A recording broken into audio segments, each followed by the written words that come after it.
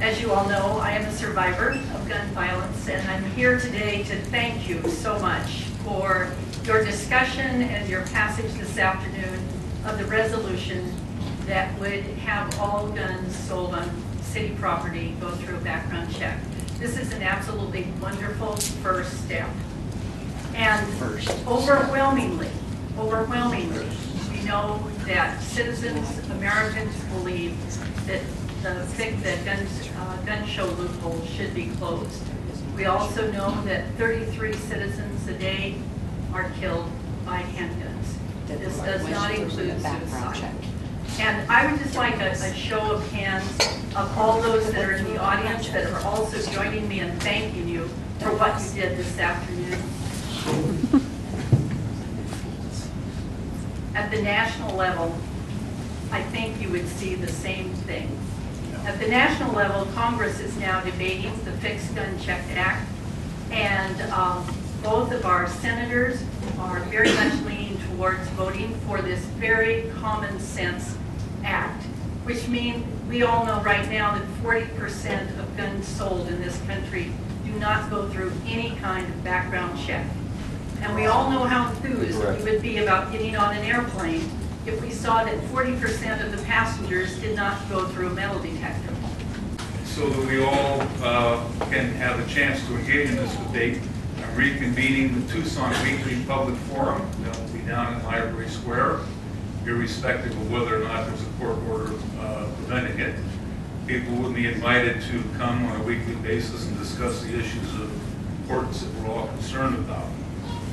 Uh, As usual, I will be packing a firearm, and I am prepared to use it in defense uh, against violence that in the past has so often been visited upon me and other people who have spoken here. And I want the police to understand, as they, as I will communicate to them, they always have a right, whenever, in their capacity as law enforcement officers, to enter the perimeter, to disarm us, stop our speech, whatever issues we have with the police as a consequence of that, we will take up in federal court.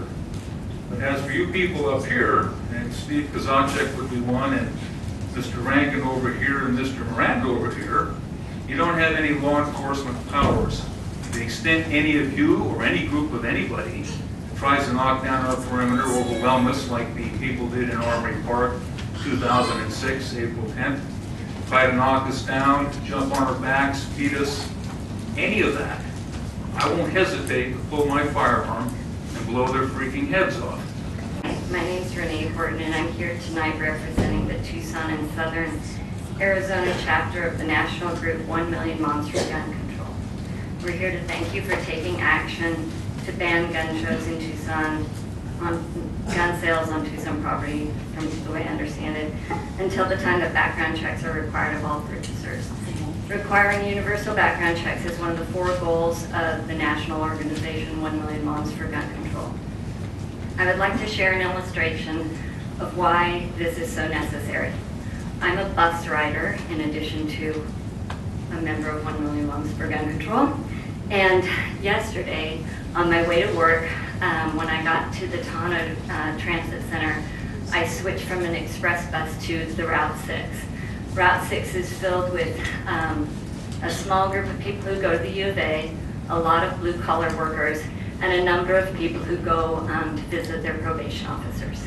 And um, I was discussing the council's consideration of this proposal with another writer, and in the middle of our conversation, a man across the aisle who was in his mid-20s leaned over and he said, yeah, the laws here are really loose. I've done time and I can get a gun.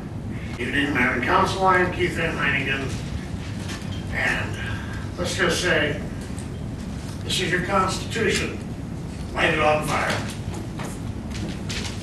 My dog tags on my keychain, shove it down my throat, and every man in my family. It's for the children. I hear this propaganda constantly. $1.2 billion in city long-term debt for the children. You've got me on the Rio Nuevo debacles, you've got a trolley to nowhere. It's for the children. You're selling them into slavery. On the national level, it's heinous. One and a half trillion dollars added every year under Obama. We want to play games with immigration? Sure, we're gonna have what, 40, 50 million eventually become American citizens in the next five years? You have any idea what that's gonna do to your job market? You think it's a joke. You think history is a joke. Background checks, yeah, sure, that's wonderful. Well, maybe you should look at all the crazy people, but maybe you ought to look at the ninety percent of all gun crimes committed by known gangbangers. Why don't you get rid of that problem? Are you just too scared? You're frightened little creatures. You've got a Secretary of State who just resigned, who said, what does it matter how they die? Well, why doesn't that apply now? Because it is the first four letters of the word propaganda. Prop. You need a prop? You've got them. Gabby Giffords will be there every time you need her. The propaganda. Discourse to a. I'm raising it to this level because it has to, because you've taken it over to the far left beyond belief. How many of you are actual combat veterans? Raise your hands. Good. One, two, One, two, none. two. But we're There's a not, lot of Out women in 50 or this 60 of you? but it's not a war. We don't need semi-automatics, automatics. I'm not, I come here tonight not to uh, represent my own views, but to represent uh, PDA Tucson, the the Progressive Democrats of America chapter. Uh, We have about a thousand members, and our steering committee met today and uh, voted to unanimously endorse uh, your proposal to uh, have a very, very reasonable uh, resolution dealing with uh, city property and how affairs are conducted there. Um, And I want to thank you. This is a, this is a real political lightning rod that uh, you have taken on, and I think that Councilman Kozachik deserves special recognition for moving swiftly and uh, decisively with this resolution, along with uh, Councilperson Uhlich. Um, I read the newspaper, the Arizona Star, every day, and it seems like every day there's a report of another gun homicide. And nationally, I think that the people believe that gun violence has reached epidemic proportions.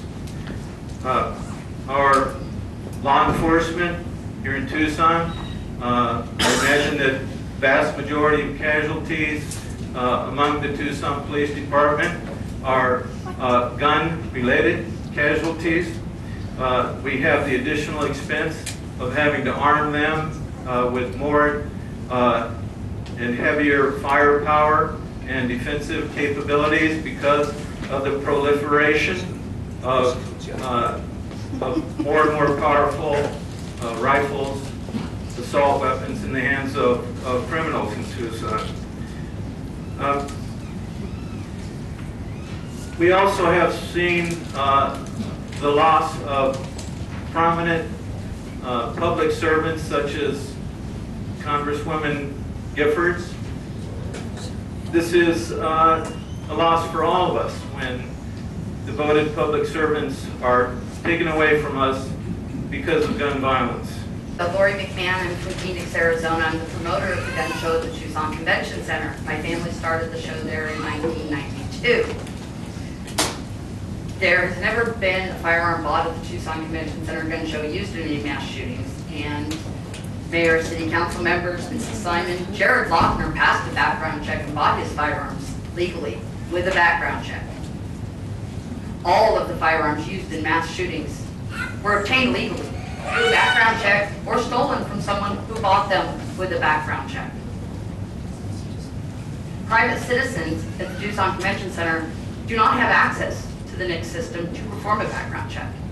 Is the city prepared to put a system into place to perform these background checks for promoters like myself and the citizens to do these background checks? They can't.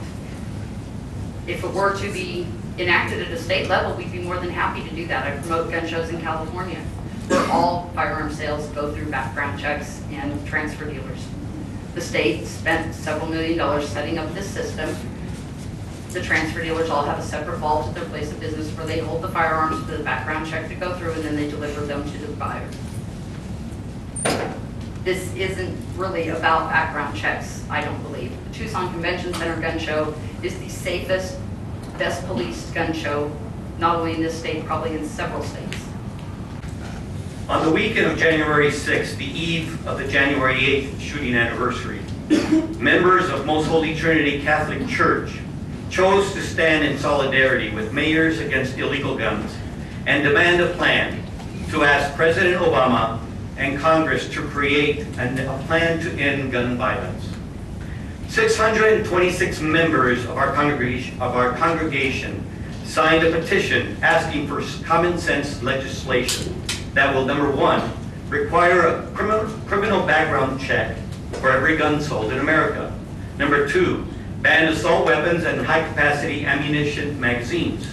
And number three, make gun trafficking a federal crime with real penalty, penalties for straw purchasers. We want to thank the City Council for considering a policy aimed at restricting the amount of weapons sold in our city to unknown buyers.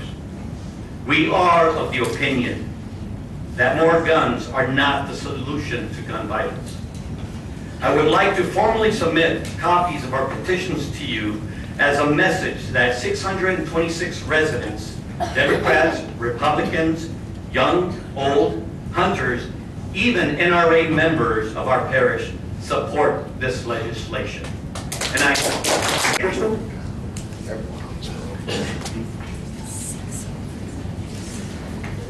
Mayor, council, I'm going to call you out of church, Richard, so. I received a phone call on the morning of January 8, 2011. I was at my office at the University of Arizona, uh, trying desperately to find more information about the shooting that had taken place in Tucson. The call was from the University Medical Center, and the voice on the other end asked me if I had heard what had happened. I said yes.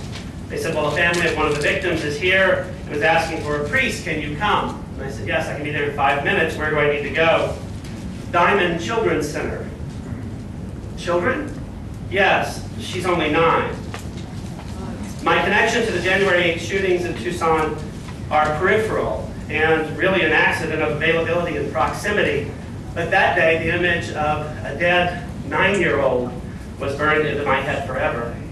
My responsibilities on that morning were pastoral, to bless the lifeless body of Christina, Christina Taylor Green, and to offer what comfort I might to her parents and her brother.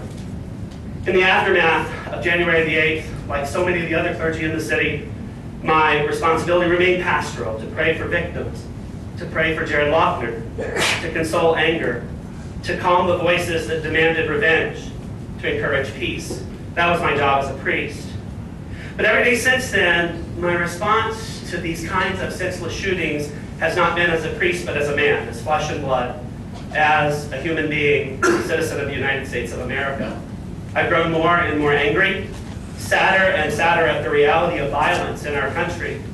Each subsequent mass shooting, Seal Beach, Norcross, Oakland, Seattle, Aurora, Oak Creek, Minneapolis, Newtown. When I read that more than 1,200 people have died by gunshots in the streets of the United States of America in the six weeks since Newtown, I'm enraged.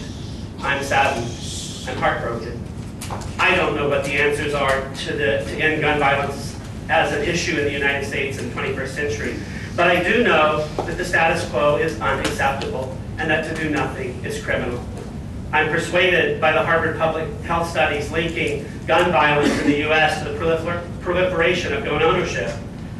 Um, my intuition tells me that fewer guns and better regulations on those fewer guns will mean fewer gun deaths. Reasonable people accept common sense limitations on our personal liberties for the sake of, of the common good, for the sake of public Here, here. safety. For the welfare- The most common of these being speed limits on our public streets. Fearful voices tell us that these limitations are tyrannical encroaches, encroachments upon liberty. These voices are unreasonable and often mendacious. I never want to anoint the body of a dead child again. Chances are I'll never be called on to do that again. But my friends, I'm not willing to leave that to chance anymore. Thank you so much for what you did today.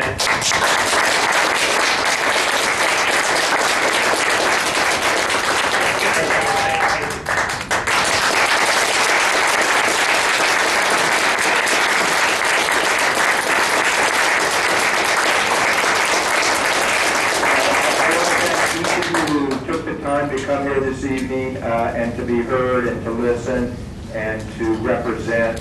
Uh, is uh, part of what makes our uh, society strong, and so we thank you for your presence. Uh,